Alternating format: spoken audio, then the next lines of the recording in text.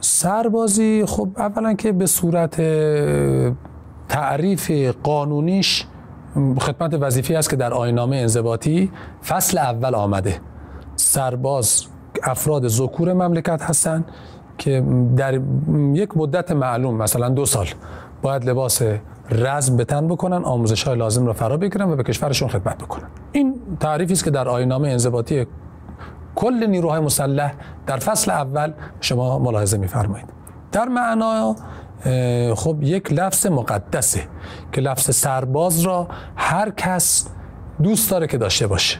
یه خورده پیچیده است راجبش عمومی حرف زدن. برای شخص من در سن 28 سالگی سربازی یک دوره هستش که به ناچار مجبورم که زمانم رو برای صرف بکنم زمانی که می‌تونم صرف کاری بسیار مهمتری بکنم. و معتقدم که سودی که من می‌تونم برای کشورم داشته باشم در این دو سال در حوزه اقتصادی خیلی بیشتر از اینه که من به عنوان یک آدم که نه توان فکری خاصی داره نه توان عملی خاصی وایستم و اسلحه به دستم بگیرم و دو سال زمانم رو طالب بخوام صرف بکنم.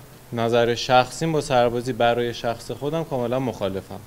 ولی از نظر اجتماعی اگر بخوایم نگاش بکنیم سربازی مزایایی داره که می‌تونه برای جامعه ما خیلی مفید باشه. عمده ترین مشکلات خدمتی که بخوایم صحبت کنیم دوری از خانواده و دلتنگی از خانواده است که مثلا نفر میاد اینجا بالاخره طبیعتا از یک محیط کاملا آزاد وارد یک محیط طب... طبیعتا چارچوبدار شده و امکان داره نفر یک سری از مشکلات رو با خودش به دنبال بیاره.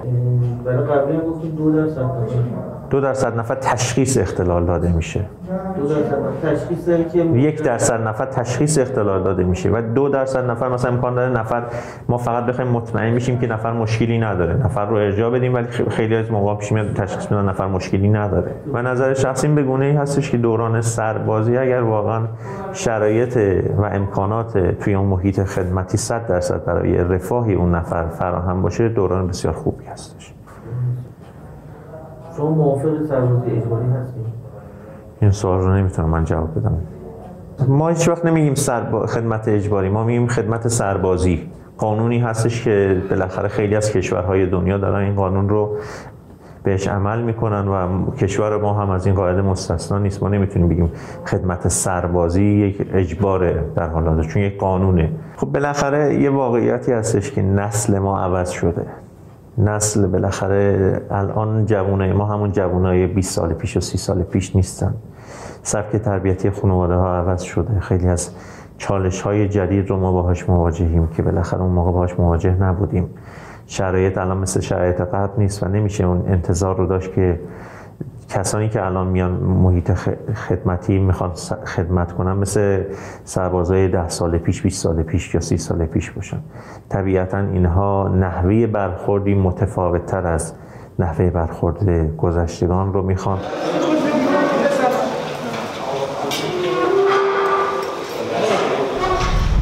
و جان پناه و پناهگاه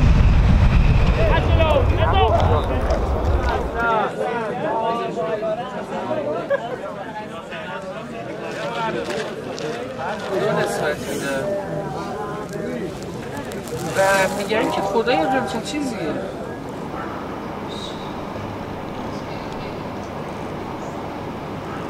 الله أكبر سبحان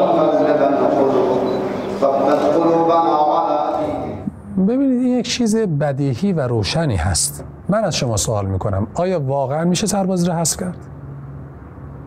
آیا میشه مرزهامون رو رها بکنیم؟ آیا می‌تونیم سر چهار راه هامون سرباز نذاریم که خودروها را راهنمایی بکنه. از کجا برن؟ از کجا بیان؟ آیا می‌تونیم کلانتری ها را جمع بکنیم؟ آیا می‌تونیم دریامون رو رها بکنیم؟ می‌تونیم؟ نمی‌تونیم. کی تو این مجموعه هستن؟ بالای هفتاد درصدشون وظیفه هستن. پس اینها باید باشه و با وظیفه داره میچرخه. حتی در دوران در بله. در دوران انتخابات ریاست جمهوری این موضوع مطرح هم شد.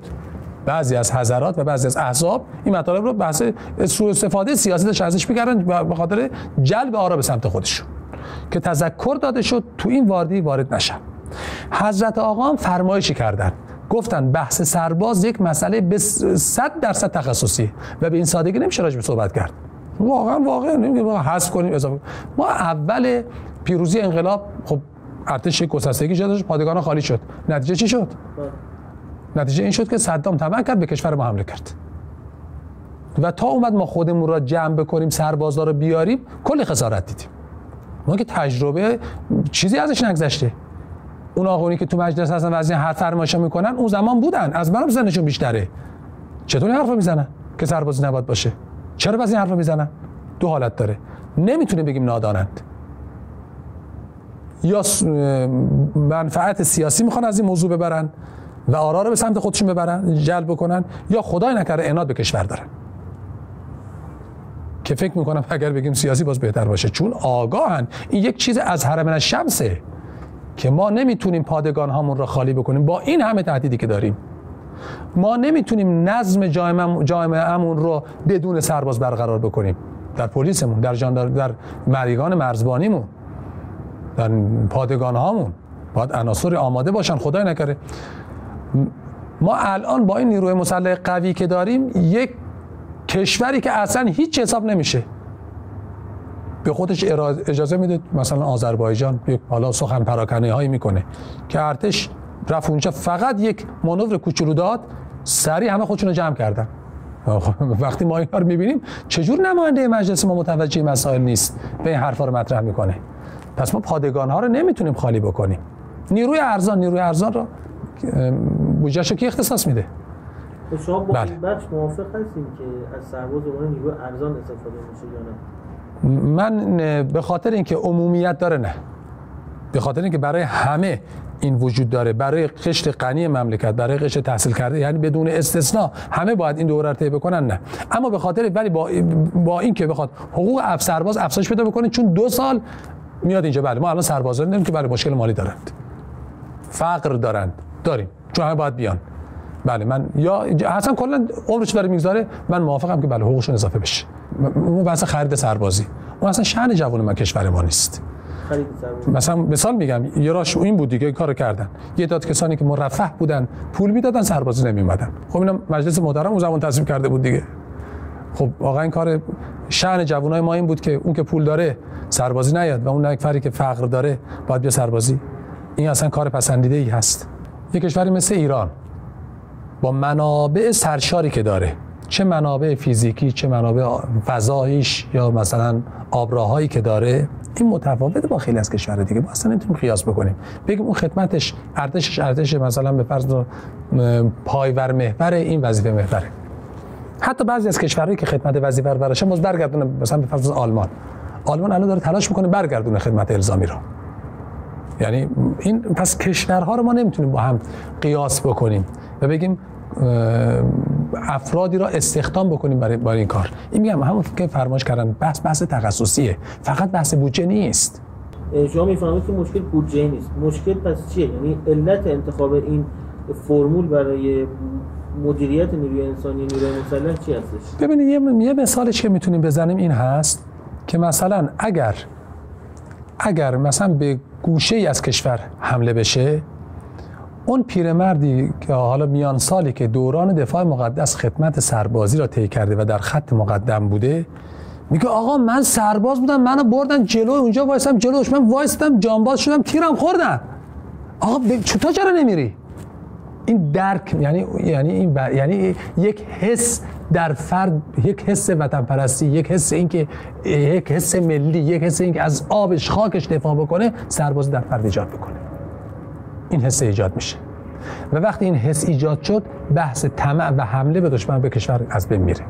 این حس کسانی که از دوران جنگ و دوران دفاع مقدس در جبهه حضور پیدا کردن با هر عنوان و هر کسوت این حس رو دارند نسبت به خاکشون. حالا همه عزیزان که به اینجا آقازادن واقعا. آقا هستن و ما در خدمتشون هستیم. ولی خب به حمدالله همون که گفتم همین تقریبا پاسخ سوالات نداره که خدمت سربازی اختیاری بشه و اینا. ما می‌خوایم که آقازاده ای نشه. اصلا خدمت سربازی برای اینه که اون آقازاده به معنایی که مطرح هست وجود نداشته باشه. خدمت سربازی باید برای همه باشه که اون لفظی که شما فرمایش کردید ایجاد نشه. ولی اگر بشاد خدمت اختیاری بشه هم بس آقازاده ها زیاد میشن. نه همه میان همه یک لباس مشخص یک ما بله مسئول کشوری خیلی ها بودن که از ریاست محترم قوا ما فرزندشون توی پادگان در خدمتشون بودیم. همه قوا ها بودن. مثلا ما رئیس قوه مجریه سر- فرزندش اینجا سرباز ما بوده. رئیس قوه مقننه اینجا سرباز فرزندش سرباز ما بوده. رئیس محترم قوه قضاییه فرزندش سرباز ما بوده. بله همه هستن. ولی خب شما شاید متوجه نشدید. لباس سربازی به تن می‌کنن. موی سرشون هم طبق فرم اسلام میفرماند و میرن آموزش رو می‌بینن. برای سفارش کردن نه از- من شما سفارش پذیر هستین؟ نه، خب ما که هر کس که زنگ بزنه جوابشو میدیم. باش صحبت می‌کنیم هر صورت. ولی اینکه سفارش خاص اون چنینی باشه نه وجود نبود. بحث امنیتی هست. خب طبیعتا بعضی وقتا این بحث چنینی هست. ولی اونها واقعا نداشتن. مثلا حالا نمی‌تونم عنوان من خب بخوام اون چون واقعا من قوه بوده که حقیقتا خیلی یعنی این رئیس قوا خیلی قشنگ بچه شد خیلی عادی. من حالا زیاد باز نشه بهتر. واقعا عادی خدمت کردم. دوره خیلی خوبی هست که افراد خودشون رو در این دوره بسنجن. و با قوانینی که هست خودشون رو منطبق کنن. تنها مشکلی که شاید در این رابطه باشه حالا تنها مشکلی که بشه دربارش صحبت کرد این اجباری بودنشه. چرا که هر چیز اجباری نمی‌تونه اون کیفیت لازمه رو داشته باشه. سربازی خب حالا یک مزیتی که شاید داشته باشه این تجربه زندگی جمعی هستش.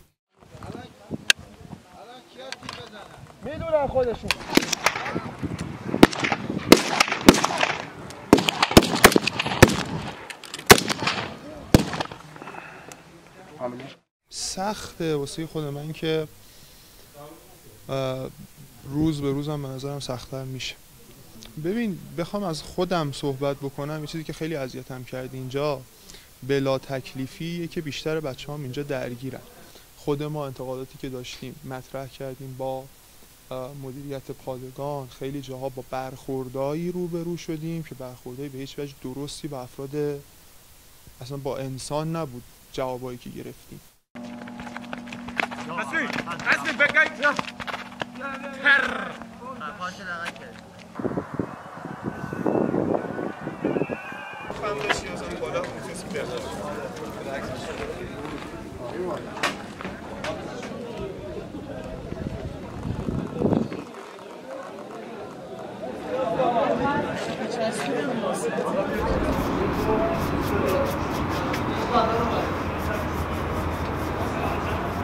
بچه ها اول اینکه یاد می‌گیرن چطوری بایستی در آینده در زندگی شخصیشون نهایت استفاده رو از وقتشون ببرن. یعنی به نظر من این زود بیدار شدن اگر بتونن بچه ها بعد از اتمام این دوره اینو نگه دارن و حفظ کنن خیلی توی زندگیشون تاثیر گذاره یعنی اکثر کاراشون انجام میشه. یعنی یه قدم جلوتر از بقیه هستن. اگر بتونن اینو حفظ کنن. زود بیدارشن و انضباط ظاهری رو یاد بگیرن. یعنی به موقع سر جای قراری دارن جایی می‌خوان برن به موقع حاضر شن خیلی از کارهاشون خیلی از مشکلاتشون در طول شخصیگری هم حل میشه. یعنی هر نفر بایستی خودش احساس مسئولیت کنه. احساس مسئولیت کنه که من به عنوان یک ایرانی بایستی به مدت حداقل کمش دو سال از این وطنم دفاع کنم. منی که حالا نظامی هم کادری هم دیگه قبول کردم من بایستی سی سال از وطنم مراقبت کنم. اگرم نیازم باشه بعد از سی سال بایستی حاضر بشم. یعنی من پنجاه سال من بشه بایستی دوباره بیام اسلحه به دست بگیرم. اگر نیاز باشه از کش- کشورم محافظت کنم. بالاخره ماها و همه سربازا همه ایرانی ها بایستی از این کشور محافظت کنیم. پس نمیشه اسم- اسمشو گذاشت اجباری. وظیفه ماست از این خاک دفاع کنیم.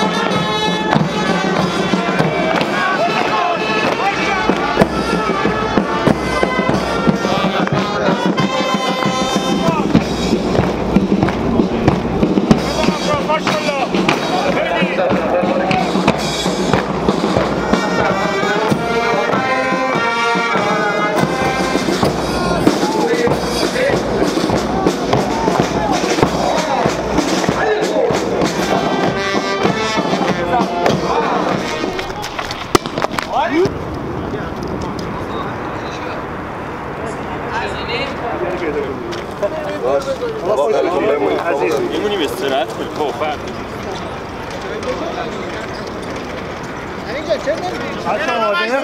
آقا ساکت یک دو سه